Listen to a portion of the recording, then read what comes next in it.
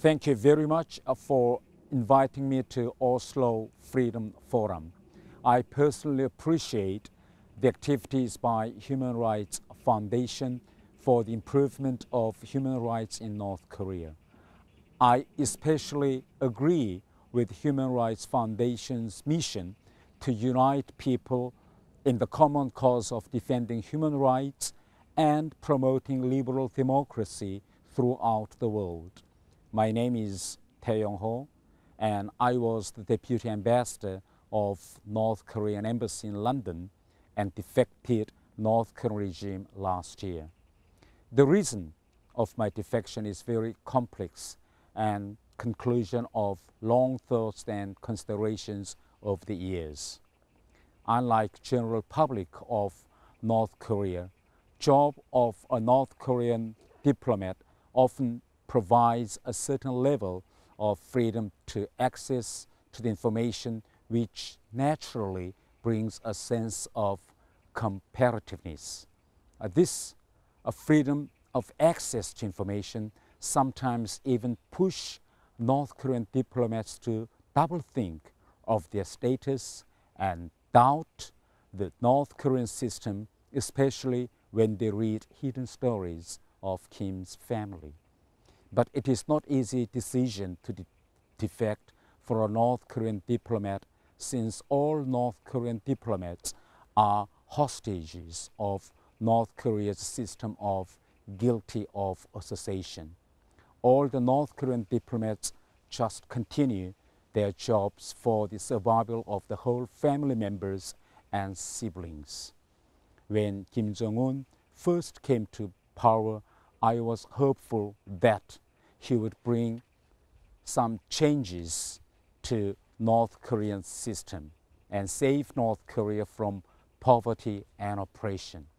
But I soon fell into despair watching him purging the officials for no proper reasons and even executing his uncle. When Kim Jong-un set a fanatical goal of completion of nuclear development by 2017, using the phase of political transitions both in South Korea and United States of America, I came to a conclusion that there is no future for North Korean regime and I thought I should do anything possible to save the North Korean people from nuclear disaster. This is one part of my reason for defection. Of course, there is also family reason for my defection. I am a father with two children. All North Korean diplomats are forced to leave at least one of their children in Pyongyang as a hostage. Kim Jong-un regime even abuses the pure love between parents and children to prevent the defection of the diplomats. But I was lucky to bring both of my sons to London and that luck prompted my preparation to defect. I decided to cut off the chain of slavery for my sons at my generation. I just wanted to hear a very simple sentence from my sons. Daddy, thank you for letting us to be a free man. Nothing is more important than the freedom of my sons. I am sure that more defections of my colleagues would take place since North Korea is already on the slippery slope. I believe that all North Korean people are entitled to the right to speak freely, the right to worship in the manner of their choice, the right to freely associate with those of like mind, the right to acquire and dispose of property, the right to leave and enter their country, the right to equal treatment and due process under law, the right to be able to participate in the government of their country, freedom from arbitrary detainment or exile, freedom from slavery and torture, and freedom from interference and coercion in the matters of conscience. But now people in North Korea do not know even basic concept of human rights. North Korea is the only country where system of classification of its population still exists. The people in North Korea are divided into three classes by the Workers' Party of Korea. The ruling class is called core class, which is around 20 to 25 percent of the population. And next class is called wavering class, which is estimated around 60 to 65 percent of the population. The last and the most oppressed class is called hostile class, which is around 20 to 25 percent of the population. The hostile class is deprived of the right for good jobs and university education. There is no due legal process in North Korea. The process of prompted execution of high officials like Jang Song-taek and Hyun Yong-chol, the former defense minister, are without proper legal process are just one of the examples to prove account. Political prison camps are home to some of the greatest atrocities committed in North Korea. The North Korean regime detained citizens in political prison camps who have committed political crimes, actions contradictory to the government or leaders' wishes, but generally not considered criminal elsewhere in the world.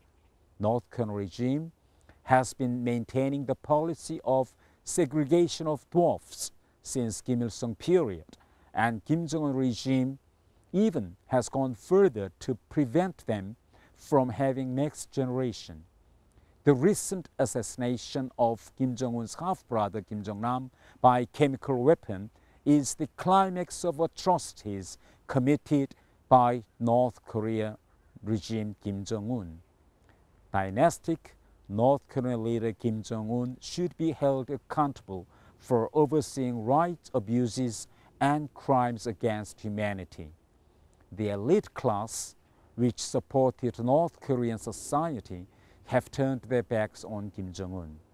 Traditional structures of North Korean system are crumbling. So-called socialism is still technically in place, but it is no longer providing.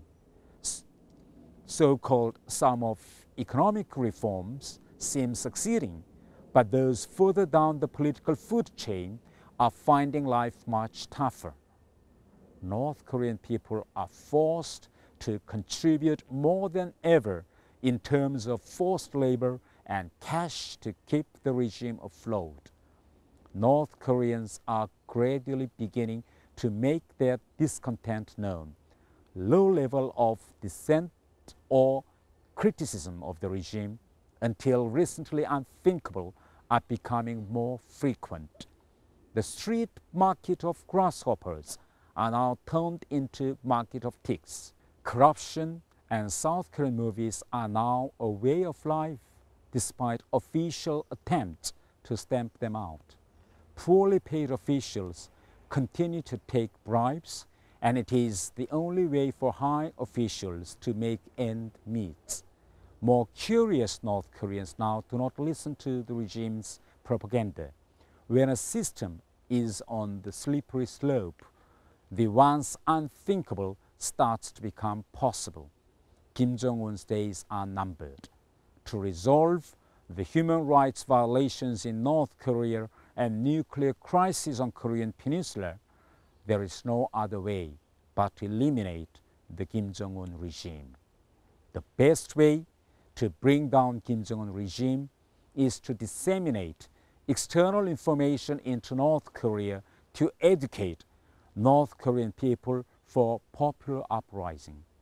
The North Korean regime is trying its best to block external information so that the residents cannot compare the living standards with others.